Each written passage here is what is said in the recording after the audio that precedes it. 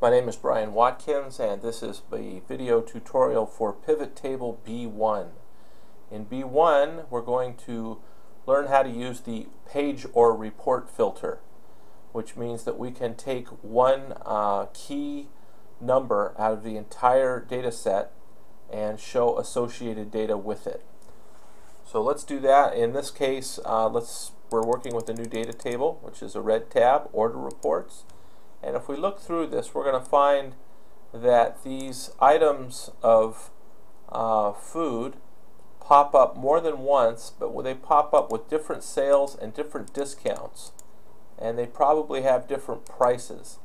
So that would explain why we want to see, for example, on an order ID, exactly what was purchased and what prices were charged for that order. So understanding what our data is, we can now begin to do our report. So we do an insert, pivot table, okay. Uh, we're back looking at the classic design uh, again, so don't be confused. We're going to start by making order ID without clicking on the box. If we click on the box, it just throws it down in the sum. We don't want it in the sum. So we can either click the box and then move it up to report filter, or we could just click, even before we click in the box, and drag it down and drop it in report filter. That sits up at the top of the report and it allows us to select any one of these order numbers. So let's leave that and what we want to see is the name of the product ordered. Okay, we want to see the unit price for that product. Not a sum, Let's move it back over to the row. We want to see the actual price. And you can see here what I was discussing. There are different prices apparently for these items. You can see two prices here when we have all order IDs involved. Uh, presumably we can't charge two prices for the for the uh, same product to one customer so if we select say one order number 10250 we quickly see that there's only uh, one unit price. So let's go back and we're going to need the quantity, pull that down, and the discount, if any, and then the extended price. Now what it has shown us is a bunch of subtotals, but we've remembered how to uh, get rid of the subtotals.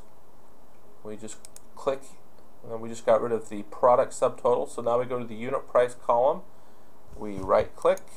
We get rid of, click on subtotal. Whoops. Get rid of that. Click again. Erase the subtotal. Go to discount. Erase the subtotal. The computer's just trying to be helpful, uh, but we don't want that. So now we have the rows they give us the unit price, the quantity, discount, and extended price. Um, let's format our numbers, and I will pause the recording while I format all the numbers because you remember how to do that. It's a click and then it's field settings. Okay, I've formatted everything, but while I was formatting, I realized that the extended price needs to come over here so that we can create a grand total of the extended prices for each order ID. So let's go here, um, format this as currency, number format, currency. Okay, and we've already formatted, well, it looks like discount accidentally got formatted as currency. We want discount to be just a straight percentage. We don't need decimal places and so our discount is right. Uh, for order 1050, it looks like we had these three products. There was the unit price, there's the quantity, and that looks right. So let's stretch it out a bit. But I noticed something here. One of the functionalities that it pops in are these little plus and minus buttons. They have a use. They can turn things off if it's a very large report. We don't need them in this report. So we go up to the ribbon where the show and the plus minus buttons and they allow you to expand or collapse items within the pivot table. Let's take them out. They're distracting here. So we take them out Now let's find ourselves a nice format by going to format as table. Um, actually, let's click within it. Okay. And let's start there. And let's, we haven't used purple yet. We'll use a purple style. So there is our report. It's complete. And the good thing about using these filters is I can have this on my screen and I can look at any one of the numerous order IDs we have. Let's look at 10893. And it changes. There's no discount in that. Let's find one that has a discount. I don't see one yet. Okay, I still don't see any discount.